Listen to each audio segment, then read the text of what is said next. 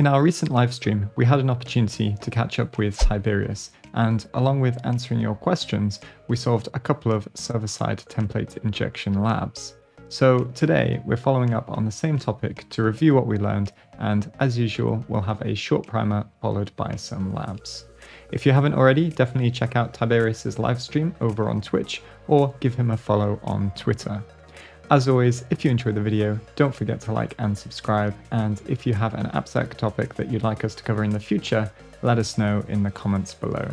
And with that, let's dive in. Before we can understand template injection, we need to understand how template engines and templates are used. A template engine allows us to separate the presentation layer from the logic layer in our applications. We can insert variables and sometimes even complex logic directly into our templates, which then get rendered into the final page. Some popular templating engines are Jinja 2, Twig, ERB, FreeMaker, Handlebars, and Mustache. So here we have an app using Twig, and what I've done is use two different methods to output the data to the screen. So if we just send a message saying hello, you can see that we get two outputs.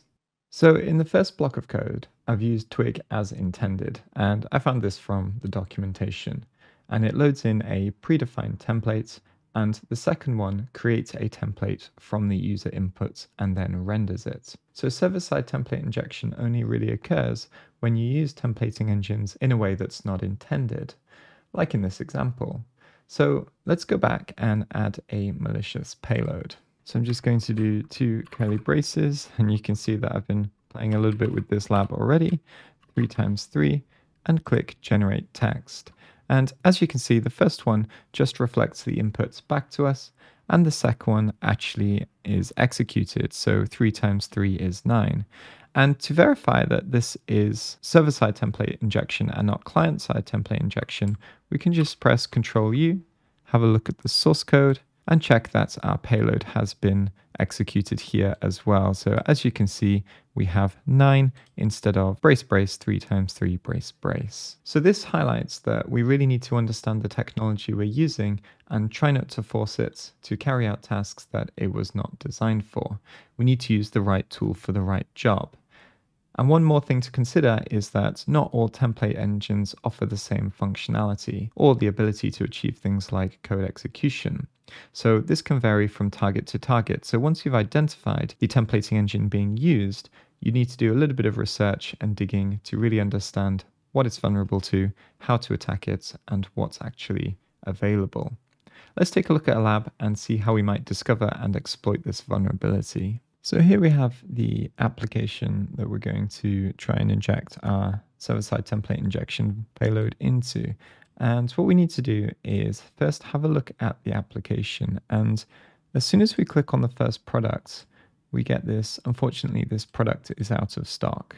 And probably what we want to do when we're approaching this application is just have a look through, check all of the functionality, see what's available to us, and then come back to Burp Suite and inspect it a little bit more closely. So if I come over to proxy and HTTP history, and I'm just going to switch on so that we can see all the filters so that we can see everything. And as we scroll down, we can have a look for something that's potentially vulnerable. So this message equals looks like it could be a good place to fuzz. So I'm just going to press Control I and send this over to intruder. And then we're going to clear this, highlight the area that we want to fuzz and click add. Come to payloads and we have a couple of options here. So if you're running Burp Suite Pro, you can use the basic fuzzing template injection payload here, or we can come over to something like payloads, other things, or hack tricks and find one. So I'm just going to come to Google quickly. Google for Hacktricks SSTI. Scroll down a bit and here's a nice short list to get us started. Just hit paste and then start attack. And you can see that we get a varying length of results. So if we come in and take a look at these, we can come up and have a look at the response. And what we want to do is search for 49. So this one has two matches which is not what we're looking for. also two matches. This one has three matches, and this is likely our payload. So let's go ahead and verify this. I'm just going to press Control R to send this to the repeater. And a nice little trick that I learned from Tiberius when he was on stream is that you can add something to the start of your payload, so a unique word, and he was using aardvark because that rarely comes up. I'm just going to use the word cheese, and then what we're going to do is send this request, and then here you can search for cheese, and we see our payload, but also if you hit the little cog, you can auto scroll to match when text changes. Then instead of clicking next or before or scrolling down, it's going to automatically bring us to this place, which is quite nice. So here We've verified our server-side template injection because our payload is being evaluated. If I just decode this, you can see this is our payload. So I think the objective of this lab is to delete the morale.txt file. So let's see if we can get code execution.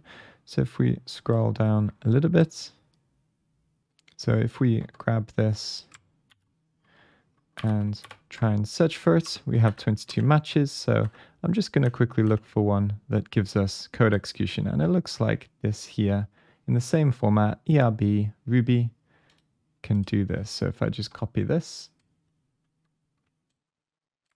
paste it here, control U to URL encode, hit send, and we get Carlos. So indeed, we have code execution. And if I recall, all we need to do is rm morale.txt.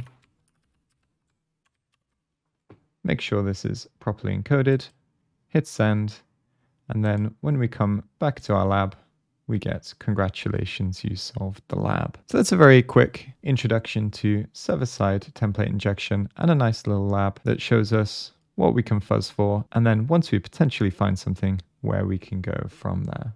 Before we wrap up today's video, I just wanted to highlight the resources that we used today. So these are things that you should definitely bookmark and make use of. And first up, we have Hacktricks, a great resource for getting up to speed on particular attacks or technologies quickly, and not just for AppSec, it also has a ton of stuff for network penetration testing, and then there is also a cloud version as well. We also have the ever famous Portswigger Web Security Academy, and recently we now have access to learning paths. So if you tend to jump around and study lots of different things at once and find it hard to focus, this should help you commit to a single topic and get the labs done. And finally, of course, we have the SwissKey repo with payloads all the things. When I'm looking for alternative payloads or troubleshooting a target, I often use this resource. If you have a favorite resource that you think is worth sharing, then of course let us know in the comments below.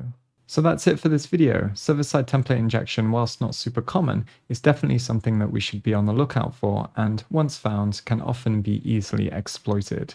As always, if you enjoyed the video, don't forget to like and subscribe, and I'll catch you next time.